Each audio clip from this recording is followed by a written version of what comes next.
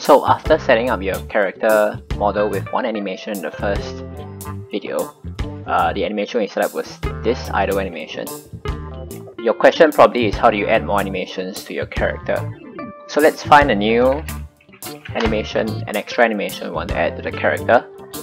I am going to add this very dainty walking animation to our character here.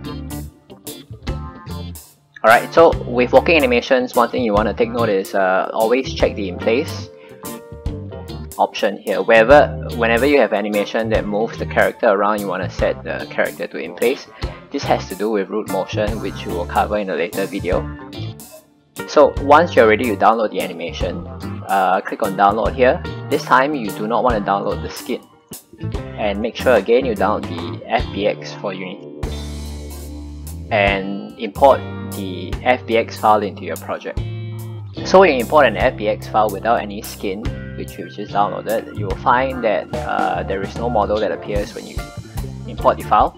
Anyway, just select the FBX file and then go to the animation type here and again set this to humanoid.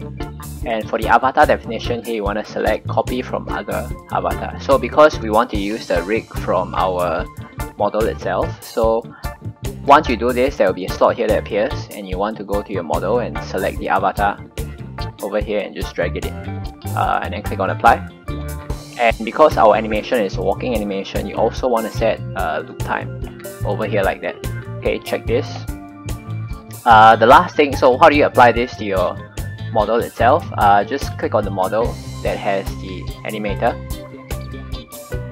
and uh, go to the animator window. Okay, then I'm gonna add the walking animation inside here. So what's gonna happen when you add the animation here is you will be able to see the animation uh, on the animation window which you can open by going to window animation animation and uh, to see all the animations that the model has which is all the animations that, that is in the animator click on the model itself and you should see all the animations available for the model. So from here you can preview the other animations that the model has. Over here is the walking animation. To add more animations to your model you just have to rinse and repeat this process